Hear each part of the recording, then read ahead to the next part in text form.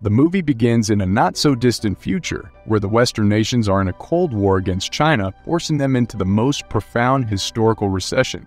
The United Kingdom's Ministry of Defense is putting all its resources into developing and perfecting an artificial intelligence brain implant and using it for regaining physically impaired and brain dead soldiers. Meanwhile, in the United Kingdom's military base, Dr. Vincent McCarthy, a scientist specializing in artificial brain transmutation, tests the brain implant fixed on the revived Paul Dawson, a soldier killed in battle two years ago. After seeing the test results, he's disappointed, so he and his colleague argue about his decision to terminate the subject. On the other hand, Paul takes a pen and embraces McCarthy with affection. Alarmed by Paul's irrelevant action, McCarthy commands him to sit. However, Paul refuses and stabs him in the chest. Bleeding all over the computer, McCarthy quickly prompts the system to shut Paul down. But as he keys in the commands, Paul is relentlessly stabbing his colleague to her death. After that, Paul picks up a rifle and points it toward McCarthy. But he immediately lowers it and apologizes after realizing his mistakes. However, the security team arrives and immediately shoots him in the head. After a period of healing, McCarthy wakes up from a nightmare. He then fixes himself and dresses up to host an interview for aspiring candidates to aid in his research. In the interview, McCarthy throws cognitive questions at the AI they present to him. However, he ends his day unsatisfied and frustrated. On his way home, he comes across Paul's mother, who regularly stays on the road to the military base entrance waiting for her son. At home, McCarthy looks after his daughter, Mary, who suffers from a genetic neurological dysfunction called Rett syndrome. The next day, in another interview, Ava, a researcher from Stanford, demonstrates her latest development in artificial intelligence. She explains how her program integrates information rather than processing terabytes of data. She also claims that her program relies on experience. McCarthy gives his attention and asks her the sort of experiences from which she derived her program. She then explains that her program gathers information from their daily conversations. Skeptic, McCarthy procures the tests for a machine. Ava's AI program and begins asking cognitive questions. After the test, McCarthy appreciates Ava for the beautiful programming. However, she corrects him and alleges that it's not programming, but machine taught itself the answers. McCarthy then calls for a 10 minute recess. Feeling disappointed, Ava starts to pack her things when McCarthy asks her about the configuration of her program. Acting all clever, she bargains that if he grants her the position, She'll tell him. He then persuades her to continue her research under his supervision. He elaborates on his access to the quantum computer, unlimited funds, and acquisition of the best robotics team. She becomes suspicious of his proposal and asks him for the real deal, so he discloses that the Ministry of Defense is the one who supports his project. Later, she disapproves that they will use her research to make weapons for the government. Yet, McCarthy insists that he's making intelligent machines, not weapons for the government. The next day, Ava pulls over for the checkpoint on her first job day when Paul's mother tells her that the military has her son. She jumps in surprise and points out that she doesn't know anything about it. As Mrs. Dawson gets hysterical, the military enforcer sees her, violently pulling her out of Ava's car.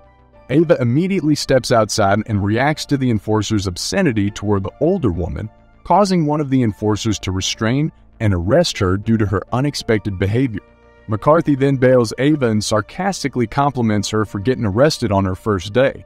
She then explains how the police mistreated Paul's mother. However, McCarthy cuts her off by telling her to ignore her sympathies with the older woman because she's mentally unsettled.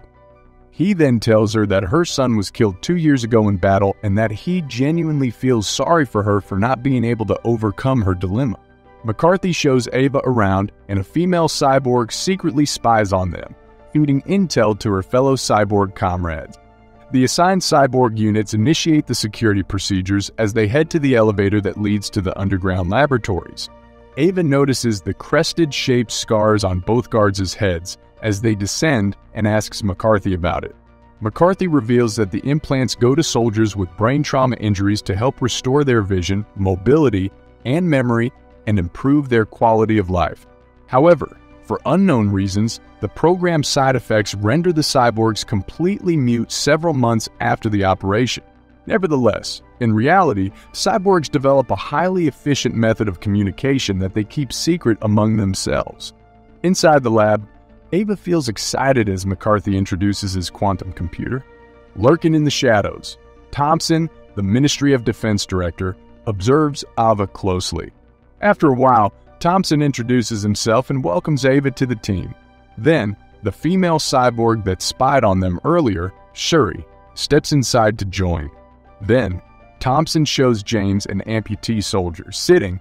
James is ready to test the newly augmented prosthetic arms, bullet and bomb-proof arms made from silk that can adapt to the host's skin complexion. Ava asks if they're trying to make the machines look like more humans. McCarthy then admits that they're making machines to kill and initiate public negotiations without intimidating the human populace with their appearances. As Ava shows her astonishment at the new product, James demonstrates the superhuman strength of his newly installed prosthetic arms. He suddenly requests to touch Ava's hand to feel another human skin again. However, McCarthy quickly objects that the carbon fiber muscles are powerful to break her hand. Ava fulfills James' request even though McCarthy warned her. He gladly takes her hand and gently feels it.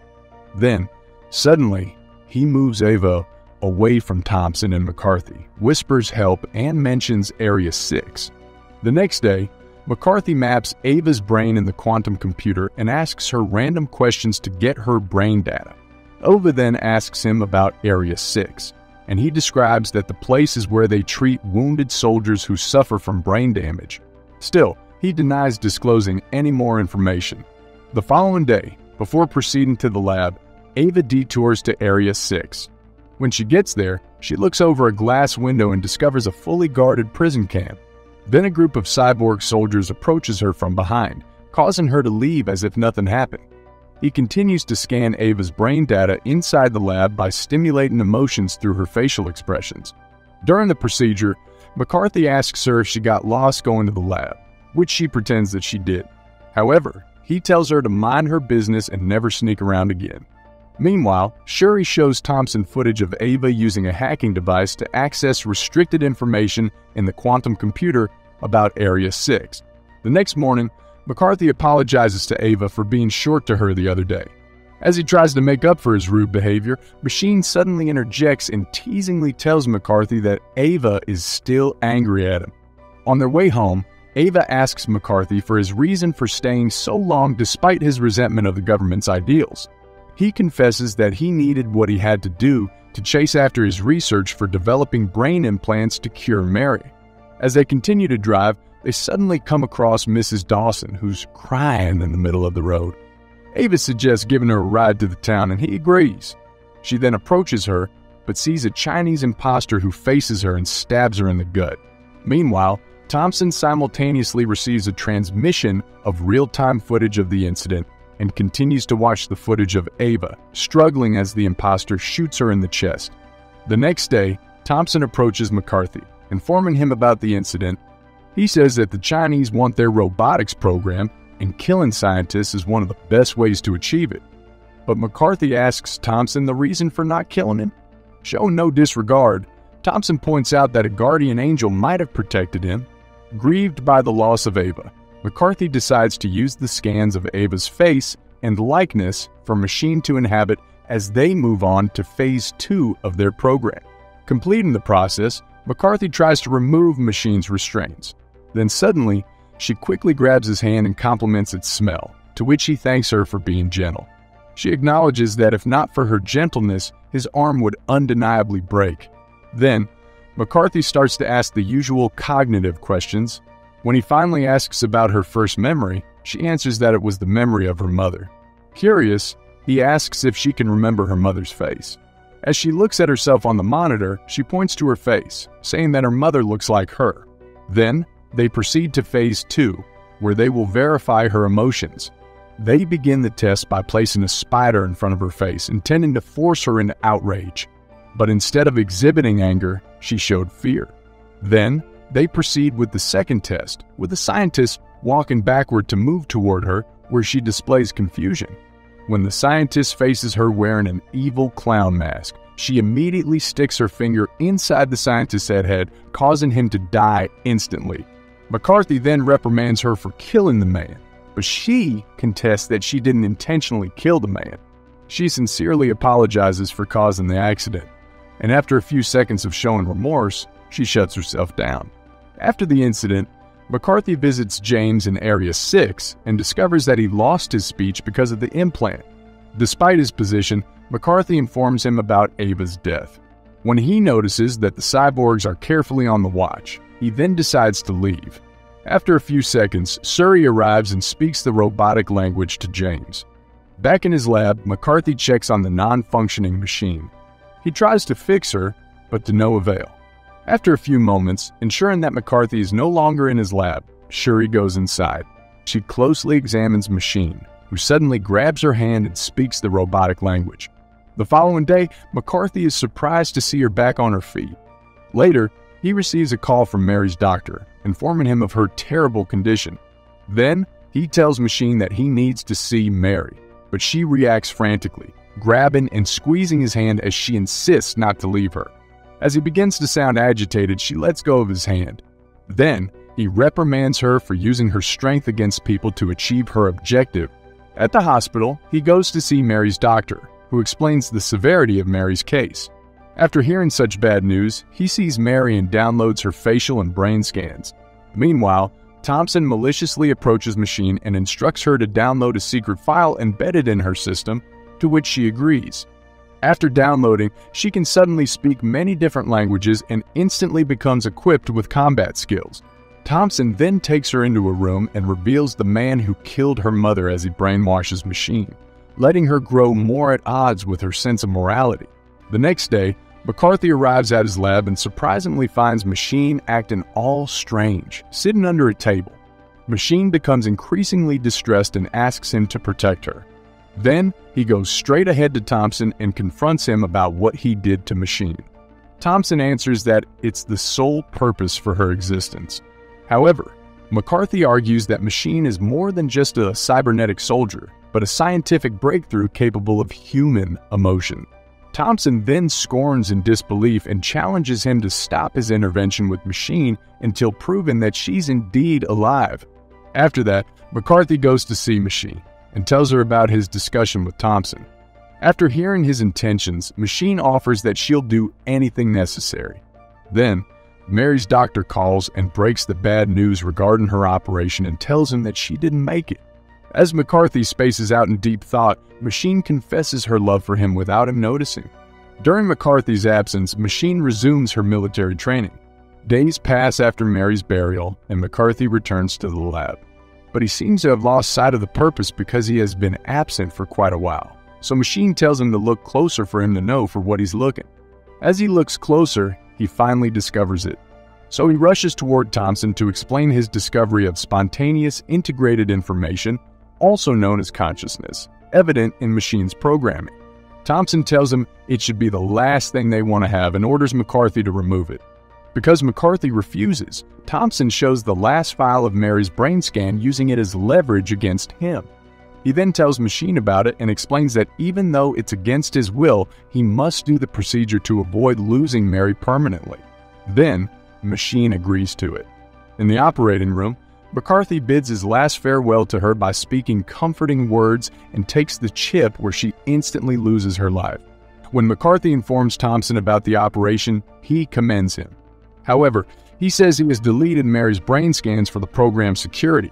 McCarthy violently reacts, but before he can do anything to Thompson, the guards restrain him and stun him. Several days later, Machine becomes more and more efficient as a killer.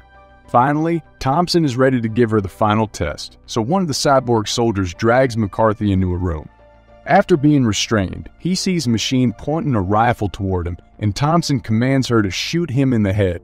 She pulls the trigger without hesitation, but the rifle is empty, to his relief. Thompson says it's only a test to verify Machine's commitment to him.